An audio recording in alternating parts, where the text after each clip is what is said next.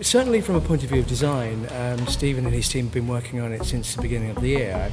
We would have had a couple of production meetings with the producers, uh, Richard and um, and the stage team, and um, we work up the designs and most probably over a few few weeks, a couple of meetings. Um, in terms of actually working in the workshops, I would think most probably over the last six weeks, but it's all coming together now, as you can see, mm. lots to paint.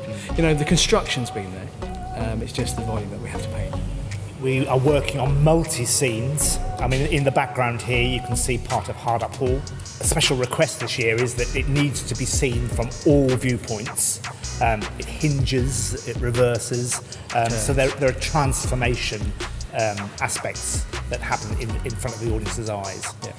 At the moment, I would think there's about 45 people here. In the workshops themselves, about 25. They skills are mainly sort of like carpentry, about eight in there, and, and then scenic artists.